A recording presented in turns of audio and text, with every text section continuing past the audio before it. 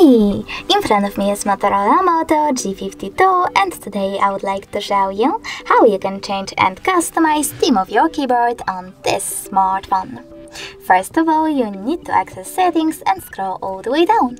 Then select system, click on languages and input, on screen keyboard and Gboard. Over here tap on theme and scroll down. Now click on show more to see all available ones and when you're ready, just click on the best theme for you, tap on this switcher next to key borders to manage them and click on apply. When I go back as you can see, theme of my keyboard has changed. But you can always go into the same settings, swipe up and tap on this plus icon under my themes instead. Then select photo that you wish to apply as your keyboard's background, pinch it to scale and drag it to move. Select Next, adjust brightness by swiping left or right, tap on Done, and finally manage key keyboarders by tapping on the switcher.